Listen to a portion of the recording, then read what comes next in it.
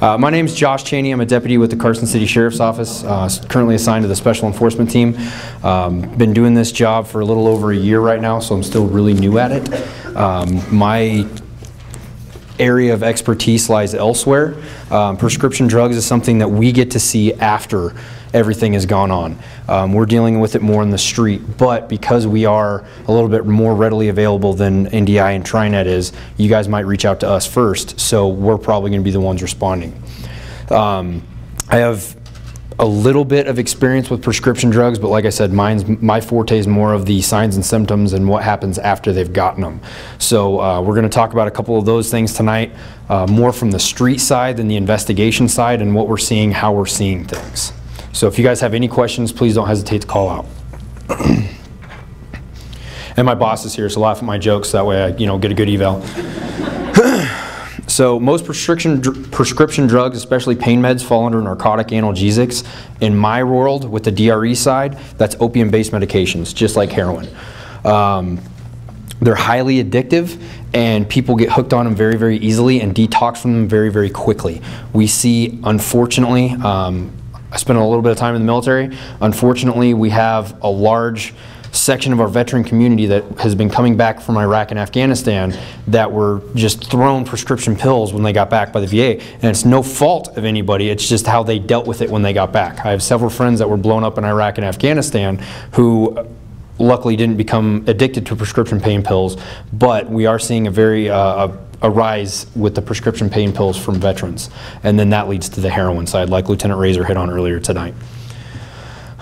So everybody's pretty much medicated now, from my seven, eight year old daughter who takes ADHD medication to the lady down the street because she can't handle whatever. She's got Xanax, she's got this, she's got that, to the guy that sits on the street corner. We're all medicated in one way or another.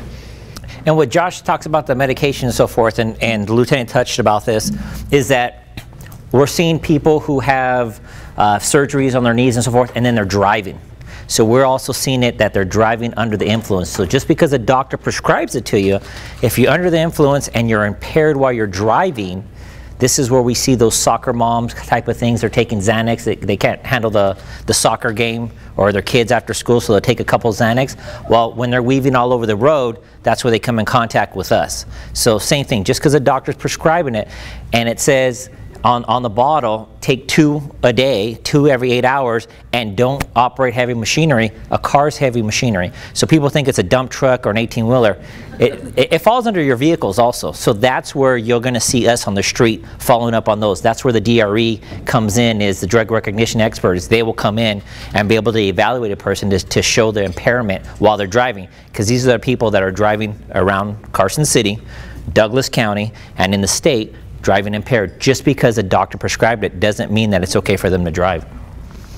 Um, to go a little review of what was said earlier, the statements, when I used to do these investigations when I was a detective, statements are important. People don't want to get involved. While you guys are here today, we appreciate you guys showing up, but there's only so much we can do. I would go into pharmacies sometimes and nobody would want to fill out a statement. Without that, we got nothing. The, the road for us stops right there. I have nothing to present to the district attorney's office. So this is where you guys have to get involved. This is where we appreciate you guys showing up today. But without you guys in this room, we're dead in the water. If you guys don't call us, there's nothing for us to follow up on. So we need you guys to be our eyes and our, and, uh, and our ears when this stuff's happening because it's happening right in front of you. Um, the people that come into your pharmacies, they have their hat real, real way down. They got their hoods on and so forth.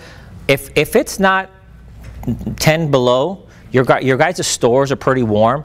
They're, they're trying to hide their identity. They, they don't want that camera to get that good profile. They're coming in your stores with a hat and some sunglasses on. I don't think the fluorescent lights in your guys' stores are that bright that they're going to need sunglasses. Those are the ones we want you to the hair on the back of your neck should go up and we want you to slow down and go, why is, why is this being presented? No difference in the doctor's signs and symptoms, runny nose, hay fever, you probably have a cold. You guys as pharmacists, pharmacy techs, why is this guy coming in with his sunglasses? I've never seen him before. He doesn't have an account at, my, at the pharmacy. He's a new recipient or it's somebody's brother picking up their brother's prescription because he just got out of the hospital. Those are the ones we want you to really slow down. It's not a regular customer and go, well, why is this presenting it that way? Why are the sunglasses? Why is the hat down? Why is the sweatshirt? Somebody's smiling because they've probably seen that. So that's what we're talking about. These are the signs and symptoms that we want you to look at. No different than a doctor sees, uh, you know, runny nose and all that why is this person trying to conceal their identity? Why is their ID bent and crinkled up? Well, you can't read the numbers, uh, those types of things. If you guys can make a color copy of their driver's license, that's better because the black and white, their picture's gone on half on half of them. Look at it. Look at it and go, is this something that I'm going to be able to give to one of the investigators later to give to a jury if it goes that far? Well, if it's black and white, it's really hard to say that that was a person, especially if they're concealing their identity with sunglasses, hats, and all those types of things. I mean, you can't even go into 7-Eleven and you have to ha- you can't have a hood on anymore. Well, now you guys are giving somebody a controlled substance. Shouldn't they have to be able to? You could you should be able to see who they are. You, you should. The Call 7 investigators hearing from parents who say their children are addicted to drugs, drugs they're getting from their doctors. Call 7 investigator Theresa Marchetta looking into the staggering trend in Colorado. We're talking about oxycodone. You may know it as Oxycontin or just Oxy, an opiate used to control extreme pain, usually reserved for cancer or hospice patients. But teens and others are getting their hands on it at an alarming rate. And law enforcement says when it comes to doctors who prescribe it, there's little they can do about it. It's almost like it's a dream. It's all, well, it's not a dream. It's like a nightmare. It's not something that you ever, you know, raising your kids. You don't ever imagine them growing up to be a drug addict. When Christy Lambrecht went to her son's home to confront him about his prescription drug addiction, among the dozens of pill bottles, she found a note. Something about him having a back injury from football. Um, which my son never played football. Her son played basketball, a happy teen, she says, who told her he tried Oxy once and was hooked. But at that point, he came out and told me he was smoking approximately 30 pills a day. Oxycodone is an opiate, a prescription pain medicine used for short periods of time post surgery or in cases of extreme pain or organ failure, and physicians know it's extremely addictive.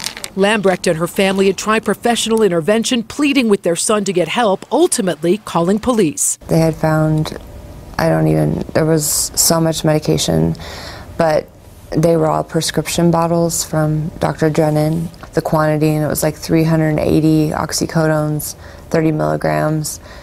And um, for each bottle? Each bottle. Lambrecht can't comprehend how her son could get a prescription, let alone the maximum strength available. A lot of them were called in.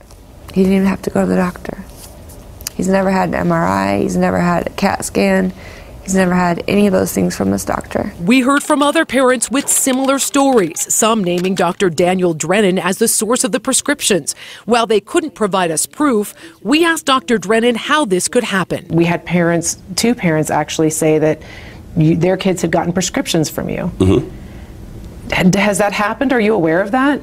I have a lot of patients that come through my clinic. He says pain management is a tricky business. But a lot of patients aren't there for the right reason. They lie to me and they tell me incorrect information. And that physicians in the field agree oxycodone is overprescribed. When a patient is referred in to my clinic for a consultation, 95% of patients are already on high dose opiates. Drennan says he only sees patients referred to him and works to reduce their oxy doses, transitioning to other therapies whenever possible. A number of these younger patients, it's obvious that they have addiction issues. I could turn them away from me. They're going to go find another physician to go take advantage of. Drennan tells me he's been a victim too. Have your prescriptions I have had that issue. Absolutely. Been falsified or Absolutely. fraudulently used? One of the cases that we were involved in, they had one of my copies of my prescription. They found 300 copies in that patient's apartment with a laser printer. We are ranking number two in the nation right now with prescription drug abuse uh, much higher than the national average. You'd call it a crisis. It, it's absolutely a crisis. This is a this is a huge problem. Sergeant Jim Gerhardt with the North Metro Drug Task Force says many addicts get oxy right out of the medicine cabinets of their family and friends, but we have leads right now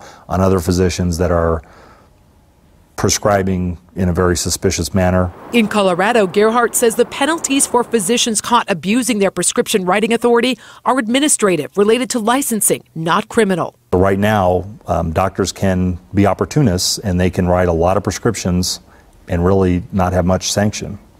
That's shocking.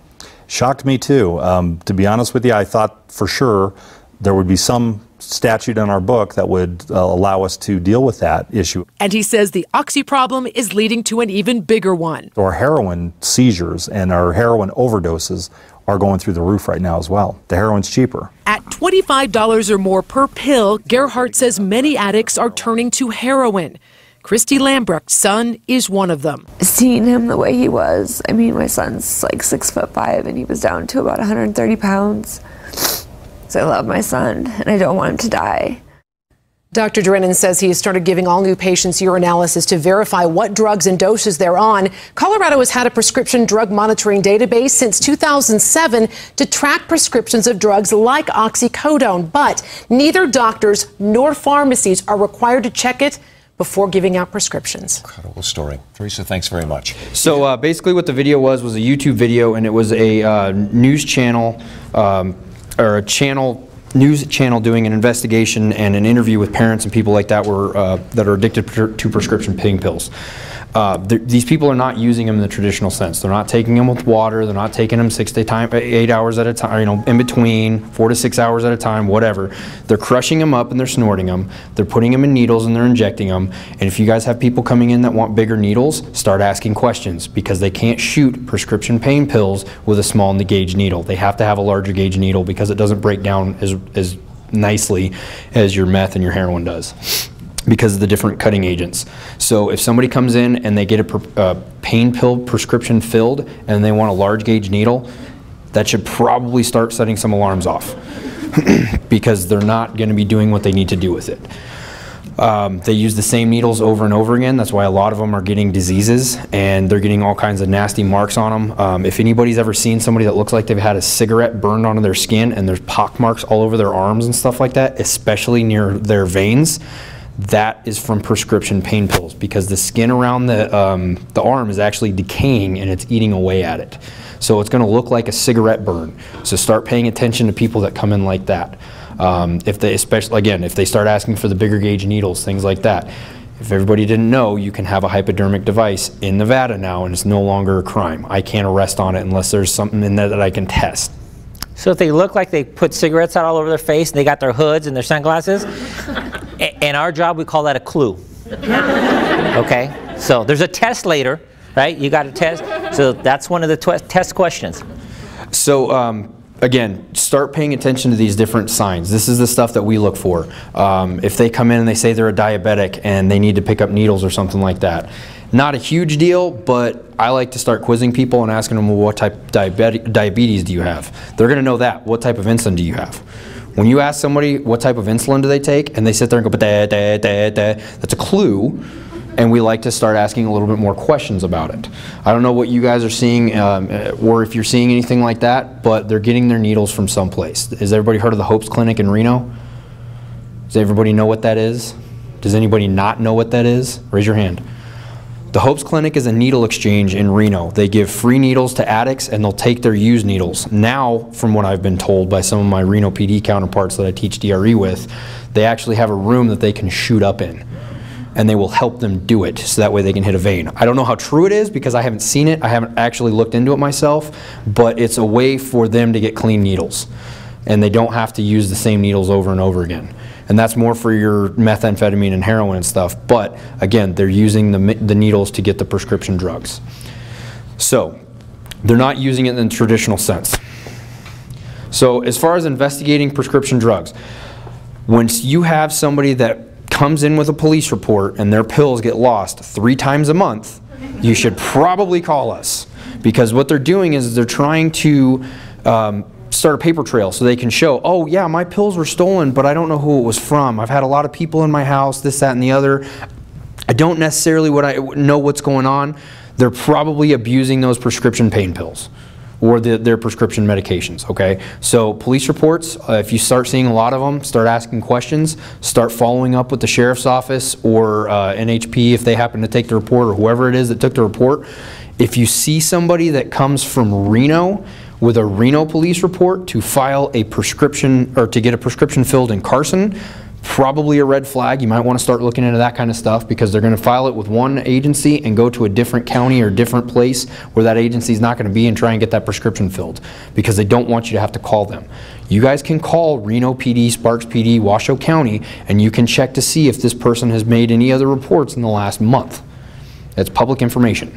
And a lot of times when these prescriptions come in, it's after five, so you guys can't call the doctor. So when you see that influx after five o'clock of, once again, you guys start seeing these clues, there's a reason they're coming in after five o'clock because they know you can't call and confirm with, with the doctor that, hey, I just, I did write 360 pills on there. Uh, so it's not a mistake that they're coming in after five o'clock or on the weekends. And everybody knows that most doctors, especially if they go to an ER, then they're only going to get a prescription for a small amount until they can go see their primary care physician or whatever it is, and then they're going to get the actual prescription filled later on.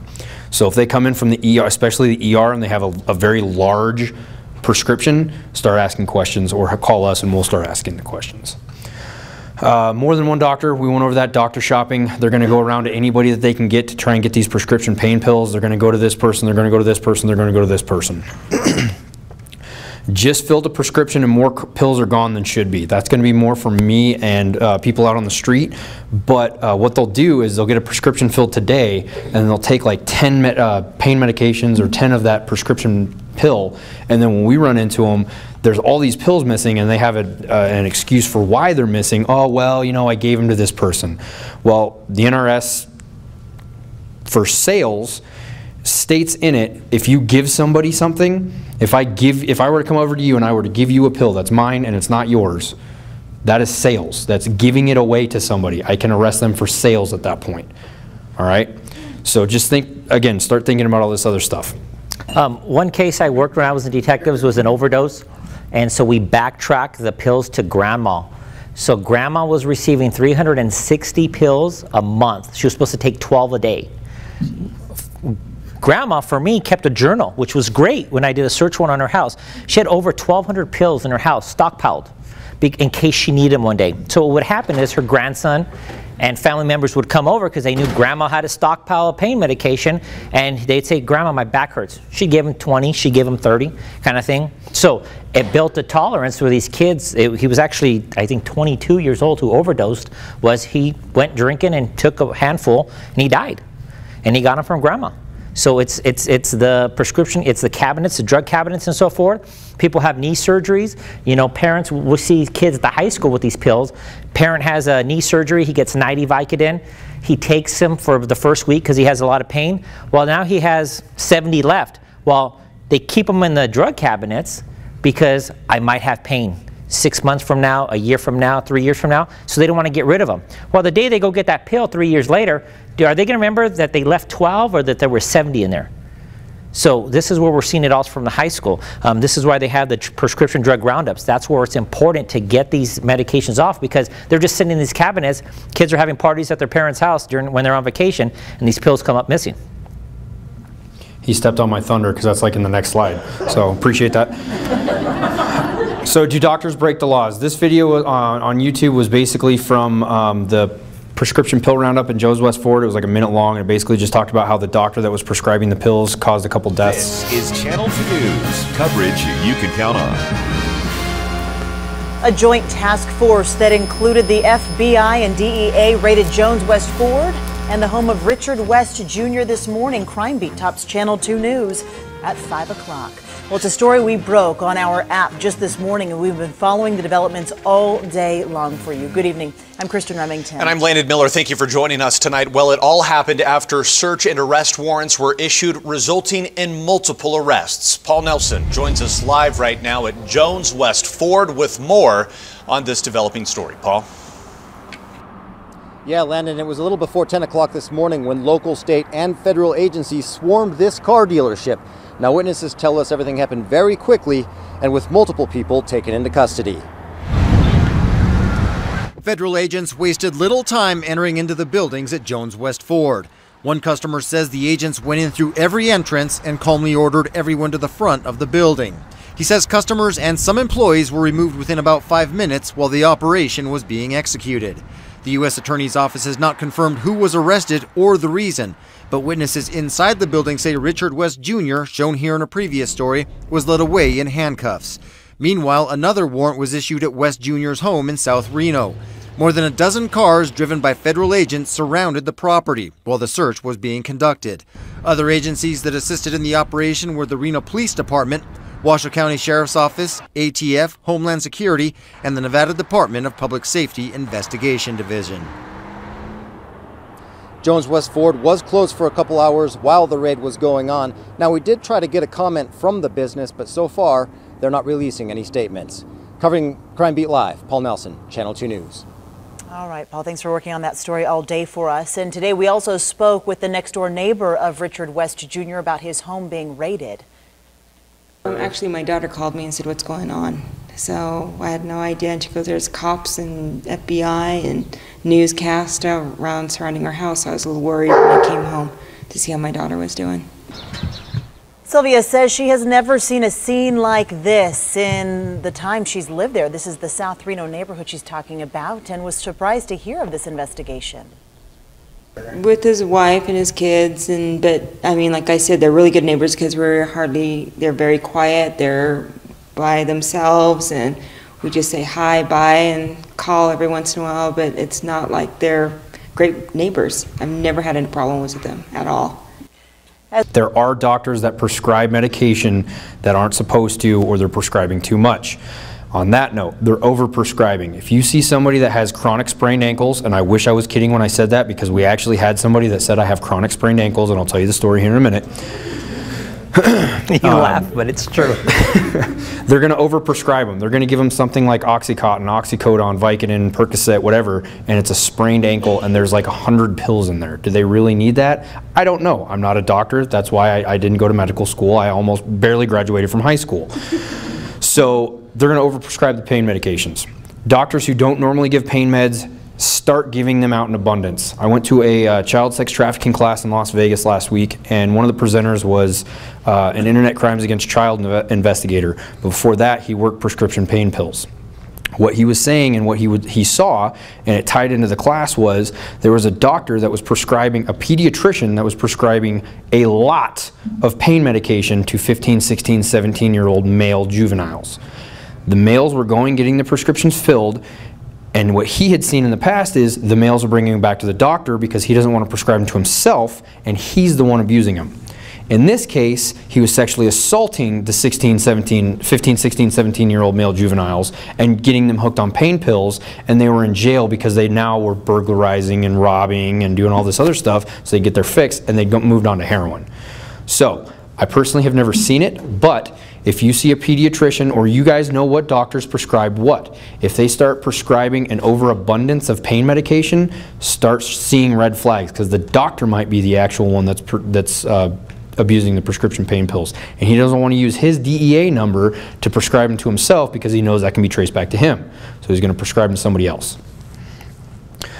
Uh, people are insistent for name brands. What we've seen on my level is our prescription pill users don't want the off-brand prescription pills. They want the, the Vicodin, they want the Oxys, they want the Percocets, and they're gonna ask specifically for that. When I go to the pharmacist, my insurance is not the greatest in the world, so I ask for the generic because I only wanna pay the $3 instead of the $70 that it costs for the actual name brand prescription. So if you get people asking for the name brand prescription, not always all the time gonna be abusing, but that's something to think about. So why are they gaining popularity? Prescriptions are harder to detect in drug tests. Unless you know exactly what drug combination you're looking at, you can't necessarily test for that drug combination. Oxycontin, oxycodone, all that stuff is easy because it's opiate based, so you're looking for opioids. Anything else, it's kind of iffy. Xanax, all those things are an actual depressant, which you guys all know. So you're gonna have to test for different things, all right? So you actually have to have that prescription if I'm going to do a drug test on somebody, a urinalysis or a blood test. And the blood tests, just so you guys know, the prosecutors are very, they're very, very expensive and they have to send it to Texas, I want to say. and it's like upwards in the thousands of dollars to get it back. So the prosecutors, the DAs, city attorneys, whatever, they don't like sending that test out unless there's been a death or a DUI causing substantial bodily harm or death. They're easy to steal from their parents and grandparents. Parents and grandparents are becoming kid, these juveniles drug dealers. High school, middle school, as young as elementary school are using prescription pain meds. Like I said, I've got an eight year, eight year old little girl. I specifically, she has, she was recently diagnosed with ADHD, and I specifically asked for a non-amphetamine based medication because I was ADHD growing up. I had Ritalin, and I hated the way it made me feel. I didn't want to take her personality away and tamp that down, and I really didn't want to give her any amphetamines. So I specifically requested something without amphetamines in it. So we have something that, that we're trying out and it's working out really well. A lot of people don't know that. They don't know their homework going into this stuff. They just have a kid that's acting out and now they want to medicate him and try and, well, he's screwing around. He's seven, okay? Let him be a kid. Shut up. So they're easy to steal from parents and grandparents. We're our own worst enemy in that. Um, I have prescription pain pills from, I don't, my wife had a C-section, so there's prescription pain pills in my medicine cabinet from when she had a C-section in 2010. We've since gotten rid of them, put them in the prescription pill roundup, but how many people actually get rid of their prescriptions? They put them in the pain med or their uh, medicine cabinet and they're like, oh, gonna, I forgot about it, whatever. Pain medication is used to dull the pain. It's not used to completely take it away. And a lot of these people are trying to get that pain completely gone. That's the point. That's the whole reason they get hooked on them. And they move generally move on to something stronger, such as heroin. They're easily overlooked. If I go into the high school right now, or if I go into a middle school, or if I go someplace else, and I were to see a prescription pain pill, am I really going to take that much time to look at it? I am, because that's what my job is. But if a teacher sees that, are they really going to question that?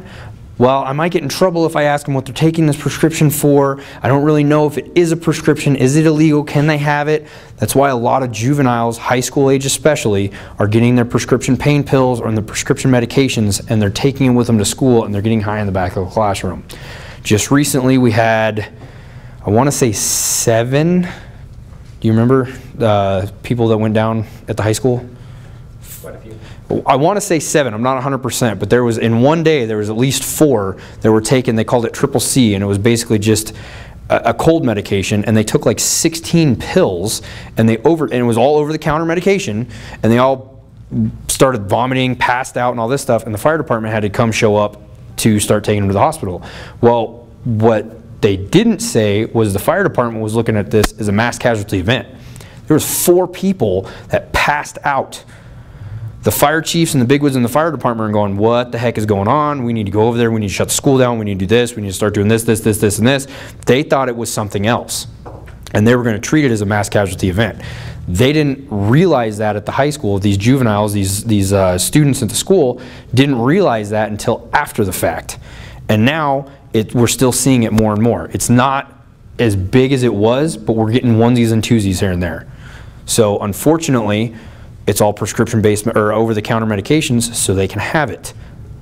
We're working on trying to educate the high school, educate the fire department, edu educate the school district on you guys need to start asking these questions. It's not a violation of law for you to ask them what they're taking prescription pain pills for. Are you, do they have a prescription? All this other stuff. It's not something that you can't not ask. Um, also, what we've seen is what they'll do is they'll take the prescription pain pills and they'll put them in a uh, Motrin or an ibuprofen bottle and they'll shake the bottle up. There's only three pills in there. Now I have to go through a whole bottle of a Costco-sized bottle of ibuprofen versus the actual prescription pain pill. So now we have to dump all the pain, the, the uh, medication out, and we got to go through it hand, uh, by hand. Anytime I see a pain or a uh, bottle, I open it up, I look through it, whether we're looking in a car or whatever, and then I look at the um, drugs.com. Uh, I have a pill identifier that I use on my phone because now I can just print that off and I can attach it to my case file. And I've already identified everything about it. So that's what I do. Not everybody does that. Uh, they can sell them. Like Lieutenant Razor was talking about, they go for approximately a dollar a milligram depending on where you're at. Um, right now, the last person we saw with prescription pills, they were saying it was about a dollar, dollar fifty. Just depends on what it is and how many how many milligrams. Uh, it's the precursor for heroin. We've talked about that all night long because it's the opium-based medication. They're going to start using the every four to six hours. Then they're going to be taken off of it. Remember what I was telling you guys about our veteran community and being thrown all this stuff at them for pain pills? Well, they got hooked on them and then they cut them off cold turkey. They didn't have a plan to wean them off of those medications. So they move on to heroin. Not all, but some move on to heroin. When they move on to the heroin, it's just like a prescription pain pill. What does Vicodin, Oxycontin, Oxycodone, Percocet say on the bottle? Take every, how many hours? Four to six hours is needed by, or for pain, right? Heroin is almost exactly the same way. You get a heroin user that's using regularly, and it's not just to maintain, and by maintain he's using maybe a tenth of a gram a day, maybe two tenths of a gram a day, or a point. You get somebody that's really into heroin, they're going to be using every four to six hours because it's opium based and they're going to start detoxing from it and they get sick. It's the same thing with the prescription pain pills. And they know when they're going to get sick. That's one of the questions we ask them. When are you going to get sick? In about two hours. So. And, and it's down to the minute. I mean, these guys are good. So I didn't add it. I didn't add it in here because we, I wasn't sure where we were going to be at for time. We're going to go over. I'm going to go over a little bit of prescription marijuana or the legal, the medical marijuana stuff. If anybody has any questions, please ask because we're going to start seeing it more and more. Everybody knows there's a dispensary coming into Carson City, correct? You're going to start seeing prescriptions for medical marijuana. Maybe not you guys, but it, it's going to be out there, okay? So the chronic sprained ankle. We, uh, Sergeant Gonzalez stopped a car coming down from South Lake Tahoe and pulled behind the kid. 18 year old gets out, can smell an odor of marijuana coming from the vehicle. He says, oh, I've got my California medical marijuana card. Well, we don't honor California medical marijuana cards. There's some stuff in place that you can get it honored, but right now, no. So Sergeant Gonzalez like, yeah, well, okay, cool. Where's your marijuana at? Yeah, it's in the glove box. All right, so we pull him out, start going through a bunch of stuff. Sergeant Gonzalez asks him, what is your medical condition? You're 18 years old. What, what do you need medical marijuana for? Is there like trauma or is there, what happened? At about that at about that point, he started laughing. So I knew something was up. When he stopped laughing, because he was laughing uncontrollably, he said, "I have chronic sprained ankles." that, that's what he said. That's how he got his medical marijuana card.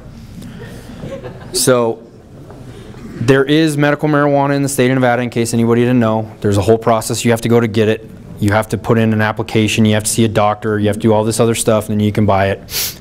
Um, we're going to have a grow facility in Carson, and I want to say we're going to have three dispensaries in our area. Yeah, um, it's it's regulated and all that stuff. Um, there are there are studies that show medicinal purposes for medical marijuana. Um, there's a lot of other stuff out there that they could take, but we're not going to get into that. The problem with medical marijuana, prescription drugs, uh, alcohol, cocaine, heroin, meth, people get in cars and drive after taking it. Marijuana can stay in your system. The active ingredient, the active uh, delta 9 THC, can stay in your system for up to 12 hours, and that's what's actually getting you high. They're still going to exhibit, depending on their body type and a bunch of other stuff, they're going to still exhibit signs up to 12 hours after that. Prescription drugs, same thing. So it's an issue because we're seeing more and more prescription drug DUIs, marijuana DUIs, medical marijuana DUIs, things like that. So if you guys have people that come into your pharmacy and they start asking questions about the medical marijuana program or whatever it is they're going to do, you just need to refer them to a doctor because as far as I know, you shouldn't be prescribing it anyway. Is that correct? I mean, correct. If I'm wrong, then let me know. And if you see people coming in lethargic, you know, no different than you guys, if you guys were running the cash register and somebody came in to buy a case of beer and you smell alcohol and they can't even pull the money out of their wallet. If you guys, somebody coming to fill a prescription and they you don't smell alcohol, but you can't have a coherent conversation with them and they're by themselves, most likely they're going to get in a car. Call us too. I mean, people call for DUI. That, that is a driving under, under the influence, whether it's alcohol or it's, it's, other, it's other types of medication. Um, this is our contact information. We work the streets. So if you guys get a prescription, um, give us a call. Call dispatch, said, hey, I, I, need the set team to come down here. This is what, what I have going on right now. Or we got this phone call. A lot of these prescriptions get phoned in and it just doesn't sound like the right nurse or the right doctor and it's after 5 o'clock.